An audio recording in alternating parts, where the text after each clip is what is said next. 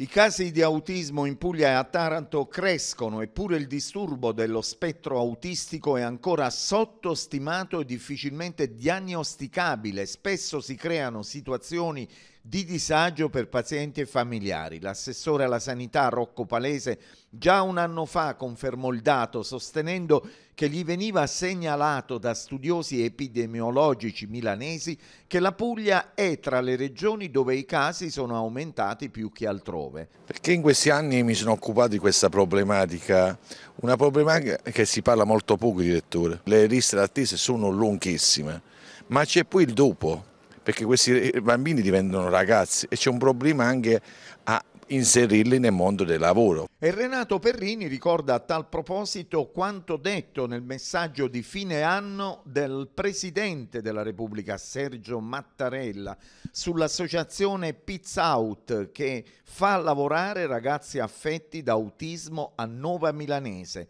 D'altronde in Puglia del rapporto tra autismo e mondo del lavoro non si parla granché. Ho fatto questa richiesta di audizione per fare in modo che la Regione inizi a lavorare su questi progetti e fare in modo che non si lasciano da solo le famiglie. Presentata dunque una richiesta di audizione all'assessore alla formazione e lavoro Sebastiano Leo al fine di comprendere quali iniziative si intendano portare avanti per garantire un futuro occupazionale ai giovani con autismo. Spesso con la conclusione del ciclo scolastico, ricorda ancora Perrini, i ragazzi autistici hanno difficoltà a trovare una giusta collocazione in ambito lavorativo.